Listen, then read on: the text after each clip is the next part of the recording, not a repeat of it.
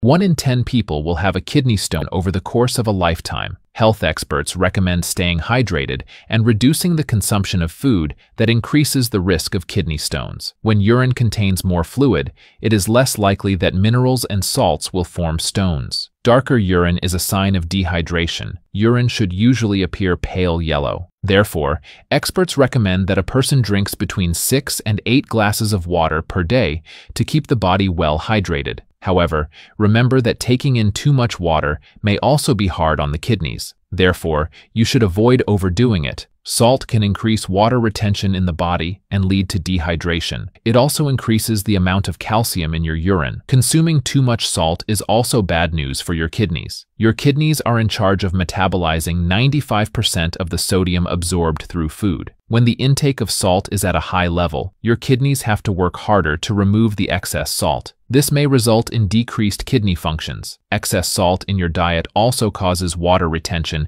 and increases your blood pressure. High blood pressure damages the kidneys over time and is a leading cause of kidney failure. Experts suggest that adults should keep their daily salt intake below 2,300 milligrams, which is equal to one teaspoon of table salt. Some examples of high-salt foods include chips, deli, or smoked meats, in addition to most packaged or prepared meals. Kidney stones are made of many different compounds, including uric acid, struvite, and cysteine. The most common type of kidney stone involves calcium oxalate. One study analyzed nearly 44,000 kidney stones and found that 67% were composed mainly of calcium oxalate. Doctors usually only recommend restricting oxalate intake to those at a high risk of kidney stones or those with high oxalate levels. Consuming calcium alongside oxalate-rich foods may reduce the risk of kidney stones because it permits the binding of the chemicals together before they reach the kidneys. Foods that contain high levels of oxalate include grapefruit, cranberry juice, potatoes, and soybeans. You should also limit animal protein such as red meat,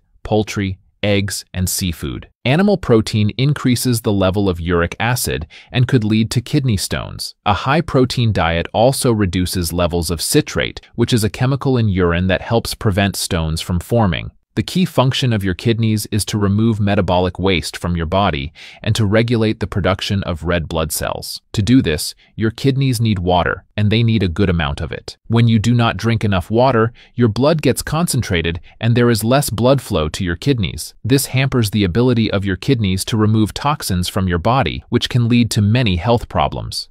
So, it is extremely important to drink adequate amounts of water to regulate the flow of fluids in your kidneys. Some habits should also be avoided to protect your kidney. Smoking, for example, harms your blood vessels and reduces blood flow to the kidneys, potentially accelerating kidney function loss and worsening existing kidney diseases. Heavy alcohol consumption puts pressure on the kidneys, leading to dehydration and damage to the renal system, while also increasing the risk of liver disease which affects kidney function. Overuse of painkillers like aspirin can damage kidneys by reducing blood flow and being directly toxic to kidney tissue, contributing to 3% to 5% of new kidney failure cases annually. Try your best to avoid these habits to keep your kidneys healthy.